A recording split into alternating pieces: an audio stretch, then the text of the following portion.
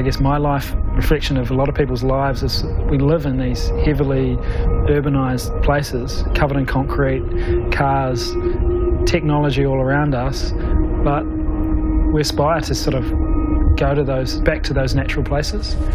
And it's, it's something that I'm constantly searching for. So, you know, I live in the city and then I come out to places like this and look for nature or just look for that solitude. So it was just a combination of the things I enjoy so my name's uh, Joseph Michael and I'm a media artist what I do is combine a, a mixture of, say, photography, video, um, moving image. It tends to be digital artwork. My passions in life, I'm passionate about exploration, adventure, first and foremost, but I really love photography. It's the most simple and simplistic form of art. When I'm taking photographs, it's just me and the camera. I'm always learning every day.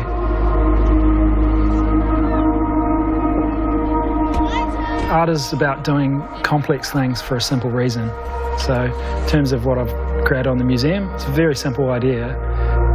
It's an iceberg and it's in the city. Like, when you think about it, it's simple, but it's such a complex process.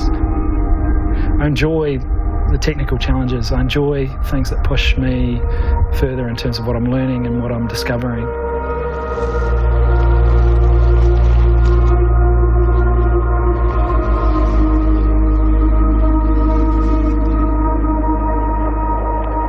Chartered a boat, we sailed across the Drake Passage, and we spent a month around the Antarctic Peninsula. And the idea was to photographically map icebergs. The scale and awe of the place. It has an aura, it has, I don't know, it feels otherworldly. And it's, it's kind of unnerving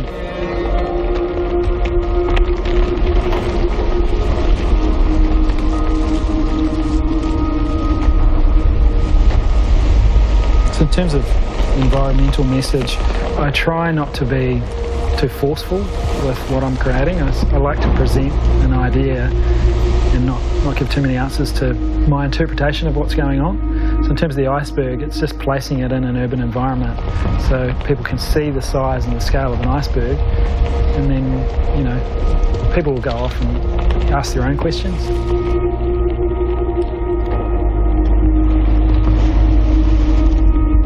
It's hard to get someone engaged with obviously sustainability or you know, looking after our environment based on practical science, you know, and ideas. Connecting people with a feeling of grandeur or the awe of nature, from, in my mind, you know, connects them at a deeper level.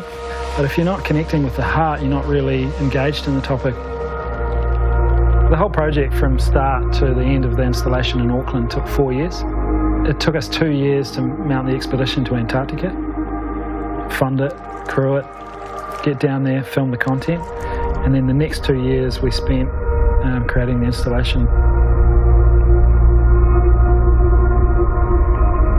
It was pretty exciting to start to see the um, digital work come into a physical space you're sort of in a, in a physical world in Antarctica, and then I'm in a digital virtual world for months and months and months, editing, looking at a screen. But then to see, give it a physical present in the real world was pretty exciting.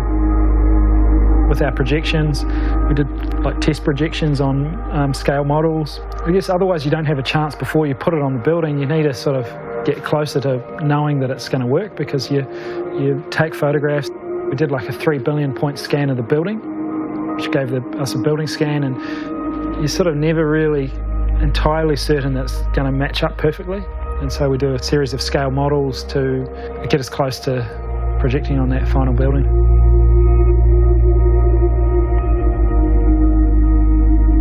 I guess it's like peeling an orange. You peel the skin off the iceberg and we photograph it. It's like an orange peel. And we pull it off and then we wrap that back on onto the building. The process isn't that simple. It goes through it, several layers to get to that process, but essentially it's like putting it back on. The biggest thing I've learned over the last few years is how important sound is for the emotional connection. And especially with art, it's really important that people feel something. So you can put whatever visuals you like, adding that sound element and paying close attention to the sound really makes a difference. I think the composition was designed to transport people to how I felt in Antarctica. I had no idea that each iceberg would be completely unique in its sound signature. I took a sound recorder knowing that there would be potential to capture things, but I had no idea the diverse nature of the sound down there.